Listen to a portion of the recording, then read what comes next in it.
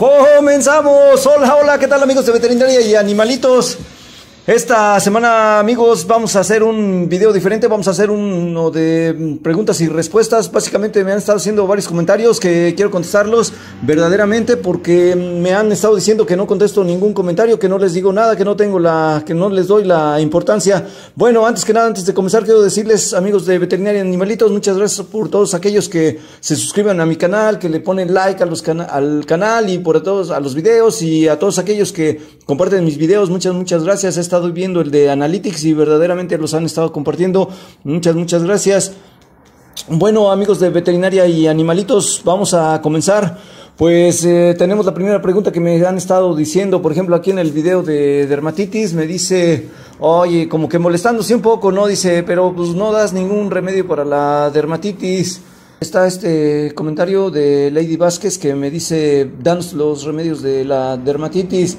Quiero decirles amigos de veterinaria y animalitos que muchas veces mm, cada perro, cada dermatitis, cada tipo de piel es completamente diferente. Cada tratamiento se debe de customizar, se tiene que ser personalizado o tiene que ser personalizado para cada animal, porque no les puedo dar un remedio y a la mera hora, ¿qué tal si no es eso? Dermatitis, hay verdaderamente tratados y libros y libros para dar un, un remedio para la dermatitis, pero pues generalmente hago esos videos y pues los hago mm, generales porque no puedo dar un remedio, eso es lo que les quiero decir, tienen que venir a consulta para sacarles un raspado, para llevar y mm, llevarles una un, un, récord y vamos, pues lo que es eh, clínicamente, lo que es médicamente.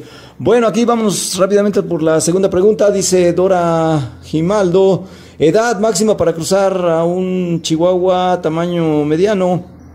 Bueno, quiero decirte, Dora Grimaldo, que definitivamente el cruzar a los perritos, a mí no me gusta mucho cruzar a los perritos porque mm, sé la...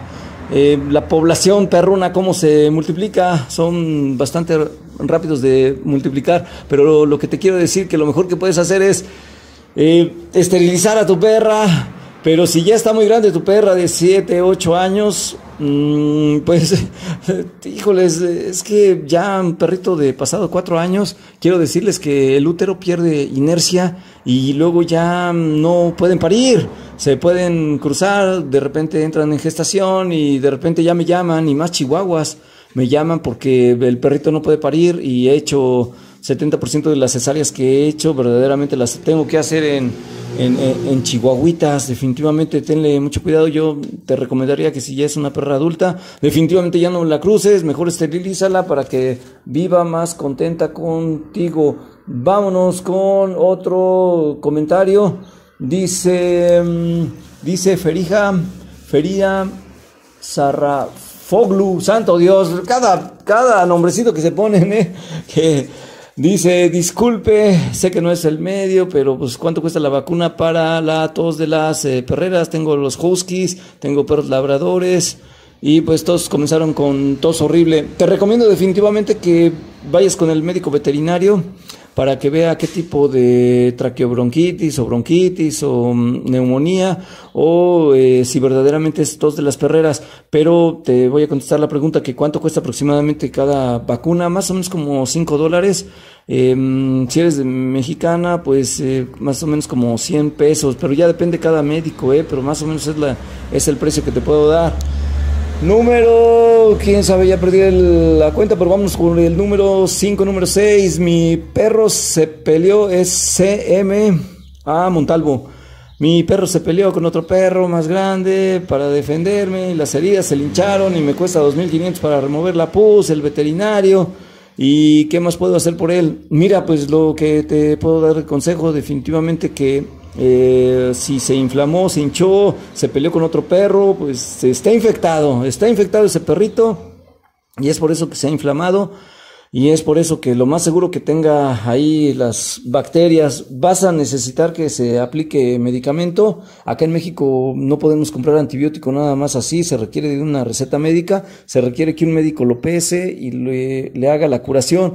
Pero si esa pus ya está muy inflamada, muy hinchada, muy hinchada, puede ser de que se fistulice, o sea que se, mm, la pus como es ácida, se llegue a ser una pequeña fístula, un pequeño orificio y la pus pueda salir por eh, sí sola. Entonces, cuando si llegas, si llegas hasta ese punto, por favor, pues dale una buena exprimida, dale una buena curación, como en la en el video que tengo de mordeduras, perros y curación, te recomendaría que siguieras esa línea. Y pues a ver qué tal, qué tal te va, es lo que te podría yo decir. Les digo que no puedo dar así un tratamiento muy específico para cada.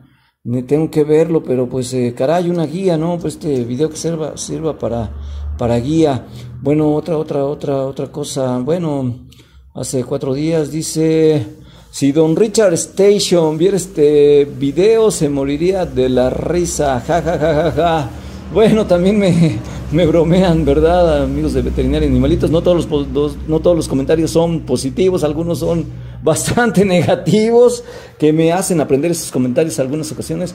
Me hacen comentarios bastante bien atinados, bien acertados que lo que hacen para que yo siga mejorando y para que yo siga aprendiendo verdaderamente y para que sea más, más cuidadoso. Les agradezco que, por ejemplo, otro comentario que me digan, no, eres un baboso, eres un tal. Así ese comentario no me deja nada, no me deja nada positivo, nada más, este, pues no, no, no. Pero si me explican el por qué, el comentario positivo, por qué, o negativo, por qué me lo están haciendo, eh, me ayudan mucho verdaderamente. Muchas, muchas gracias. Bueno, pues aquí Em, tenemos otro, otro, ah, también hay comentarios, por ejemplo, este de Patricia Durán.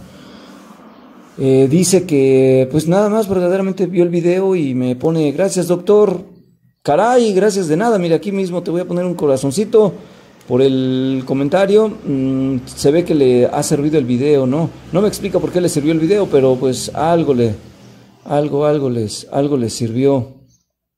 Eh, otra, otra pregunta, vámonos rápido para terminar. Bueno, dice, mi perro tiene cuatro días que el veterinario combatiéndolo sobre parvovirus, no sufre, no tiene sangrado, em, no ha decaído, sigue igual, sigue enfermo, sigue enfermo, no va para abajo, pero sigue estable. Veterinarios no dicen que ya no lo llevemos a casa porque está deprimido en la veterinaria, entonces ¿Qué me recomienda cuando lo traiga a casa? Bueno, antes que nada te felicito porque lo llevaste con un médico veterinario. El médico veterinario posiblemente mi colega esté viendo que el perrito está un poco deprimido de estar en las veterinarias. Algunas veces se ponen, se ponen tristones los, los perritos porque mm, están fuera de la casa y luego si están enfermos pues se les bajan las defensas. Si este doctor te está diciendo que está deprimido, y que lo lleves a casa, posiblemente ya esté hidratado, ya vaya de, de, salida la enfermedad, ya vaya positivo y es por eso que debes de llevarlo a casa. ¿Qué tal si allí en casa le da un vuelco a la enfermedad y le da para arriba y se pone más contento? Lo más seguro es que mm, posteriormente que los mandamos a casa, los tenemos que mm, dar una nueva visita al siguiente día o en la tarde para que el perro sepa de que va a ir y venir, va a ir y venir y que no lo regalaron o que no lo abandonaron. Esa es una cuestión, otro video que es un tema grande que, debería, deberíamos de, de tratarlo, pero verdaderamente Sí. Bueno amigos de veterinaria y animalitos, em, vamos a seguir haciendo este tipo de videos de preguntas-respuestas. Muchas, muchas gracias por eh, verme, por ponerle likes a los videos. De veras, eh, estoy muy, muy, muy contento. Y eh, pues vamos a seguirle, vamos a darle, ándele pues. Bye, bye, bye, nos vemos. Falta que no haya grabado nada.